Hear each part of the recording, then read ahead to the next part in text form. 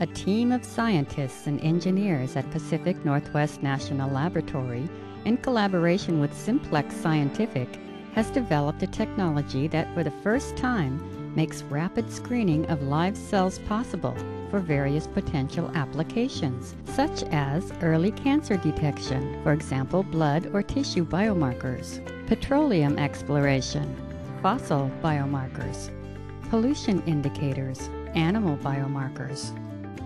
IncubATR, the live cell monitor technology that combines a custom designed and developed live cell attenuated total reflectance or ATR cell and well established Fourier transform infrared or FTIR spectroscopy technology, leading to live cell ATR FTIR spectroscopy that will transform the areas of biology, toxicology, materials science, environmental science, medicine, and pharmacology.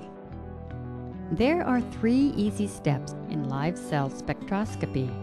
1. Grow live cells to full confluence directly on the ATR substrate, with or without a functionalization layer on the surface. 2. Introduce stimuli, for example, growth agent or tumor promoter or nanoparticles, into the cell medium inside the incubator. 3. Connect to an FTIR and collect ATR FTIR data measurements to account for changing live cell dynamics.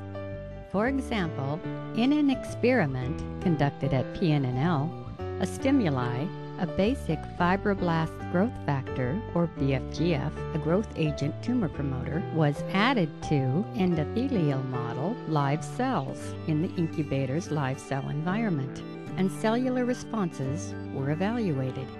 By collecting and reviewing the series of FTIR spectra collected as a function of time, researchers immediately can begin to analyze and understand how the stimuli produce observable changes, chemical signatures, or biomarkers in live cell structures, starting from the actual dose time through the experiment's fruition.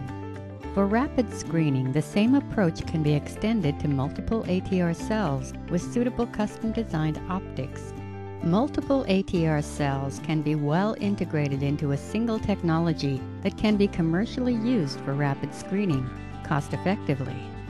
In summary, IncubATR, the live cell monitor, is commercially licensed and available now for use. Some of its advantages include it enables near real time live cell spectroscopy. Reagents are not required. Non destructive, no prior knowledge is required. Validation of models and data sets. Standardization. Saving money, time, and lives.